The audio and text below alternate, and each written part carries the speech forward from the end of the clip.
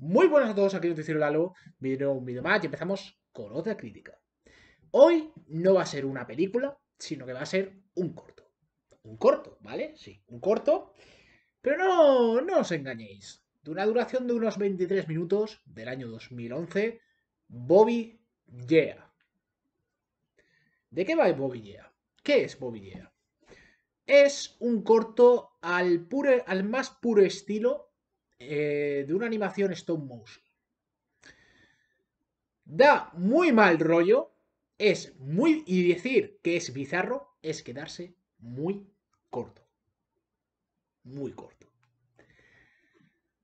El corto empezará con Bobby. Bobby pues traerá una especie, llegará a una habitación y es una especie de conejo conejo medio, medio humano. Para llegar a alguna especie, mm, no sé qué es, un trozo de carne alargado y con lo que se podría decir arriba que es un pelo. ¿Qué pasa? Que Bobillea lo que hará ser que este ser, el que Bobillea tumbará en una cama, tiene un botón. Entonces, Bobillea, como es alguien bastante curioso, pulsará ese botón. Y a partir de aquí, si ya la cosa no era bastante, no era lo suficientemente bizarra, lo lleva a otro puto nivel.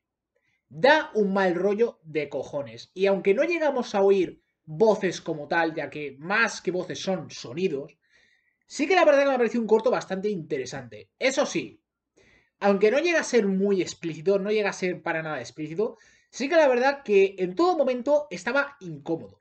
No estaba no estaba a gusto viendo este corto y la verdad me ha parecido bastante interesante el cómo está llevado. Este tipo de animaciones stop motion, la verdad es que a mí me flipa cómo la gente eh, se puede tirar, porque esto realmente no lo vas a hacer en 5 minutos, esto te lleva horas a hacerlo. O sea, tiene que tener en cuenta que el tema de stop motion es, por decirlo de alguna manera, coger varios, eh, varios objetos e ir moviéndolos, e ir pillando un poco, haciendo una especie de, secuencias eh, lo que sería por, por fotograma, ¿vale? En este sentido, por, no serían fotogramas, algo así, ¿vale?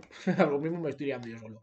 Pero es algo que me ha gustado muchísimo, sobre todo el cómo está llevado, ¿vale? Está todo muy bien llevado, porque aunque no hay una trama como tal, no existe una trama como tal, eh, sí que la verdad que lo que nos intentan contar en esto y tal, no nos vamos a entrar apenas nada y tal, y si alguien ha, logrado entender esto, eh, que me lo explique en comentarios. La verdad es que me parece un corto bastante interesante y la verdad bastante diferente a lo que he visto, hay que decirlo últimamente.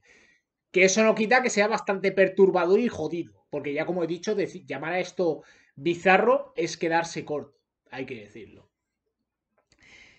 Este corto, una vez más, es, ha sido recomendación de Rotten Síncope. Mi valoración eh, va a ser de un 9. Me ha gustado bastante, la verdad, es una experiencia diferente, es algo diferente y tal, es algo que dices, hostia, pues es algo bastante diferente. Ya había visto algún stop motion y tal, y la verdad es que la duración que tiene son unos 23 minutos. Esos 23 minutos es como que, por una parte, quieres quitarlo, pero por otra parte no puedes dejar de verlo. Es de, es de estos cortos, ¿vale? De este tipo de cortos, o de películas, ¿vale? Que por una parte quieres quitarlo porque sabes que estás incómodo, pero por otra parte quieres seguir viéndolo. Sinceramente, me parece increíble. Me parece increíble cuando sacan este tipo de cosas y lo hacen de esta manera, esa, esa manera de, de sobrecogerte, de cogerte y decir, uff, no quiero seguir viéndolo, pero es que no puedo evitarlo. Y es algo que me parece, me parece bastante brutal, hay que decirlo. Está muy bien llevado, hay que decirlo. Yo por mi parte lo recomiendo bastante. Si tenéis la oportunidad de más, eso sí, no le pongáis esto a un crío. ¿Vale? No seáis cabrones si le pongáis esto a un niño, porque es que lo vais a traumatizar. ¿Vale? No me seáis cabrones. Nada más que decir, gente, os dejaré el canal, como siempre, de Rotten y en la descripción. Y no hay mucho más que comentar. Nos vemos en la siguiente.